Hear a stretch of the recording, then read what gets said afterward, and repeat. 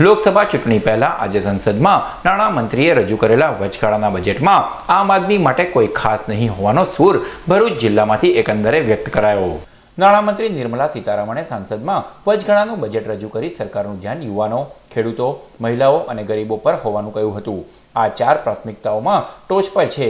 લોકસભા ચૂંટણી પહેલા આ વચગાળાના બજેટમાં પરંપરાને ટાંકીને નાણામંત્રીએ ટેક્સ સંબંધિત કોઈ પણ જાહેરાત કરવાનું ટાળ્યું હતું. આવકવેરા સહિત કોઈ પણ પ્રકારના પ્રત્યક્ષ અને પરોક્ષ કર અને તેના સ્લેબમાં કોઈ પણ પ્રકારનો કોઈ ફેરફાર કરવામાં આવ્યો નથી. સરકાર માત્ર મધ્યમ વર્ગને તેમના પોતાના ઘર ખરીદવા અથવા બનાવવામાં મદદ કરવા માટે આવાસ યોજના શરૂ કરશે. ઔદ્યોગિક ભરૂચ જિલ્લામાં બજેટને લઈને નિરાશા જોવા મળી હતી. કરદાતાઓને નિરાશા તો ઉદ્યોગોએ વચગાળાના બજેટને ભાવિ ભારત માટે આવકાર્યું હતું.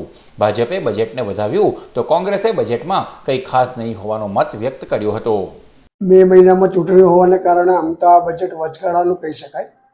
એટલે બહુ લાંબુ તો બજેટ હતું નહીં. પણ એટલું ચોક્કસ કહીશ કે આ બજેટ શોર્ટ એન્ડ સ્વીટ હતું. કેમ કે આ બજેટમાં ખાસ કરીને તો એ લોકોએ ગામડાની અર્થવ્યવસ્થા સુધારવા અને ખેડૂતોની આર્થિક સમૃદ્ધિ તરફ લઈ જવા માટેના ઘણા બધા પગલાં લીધા છે.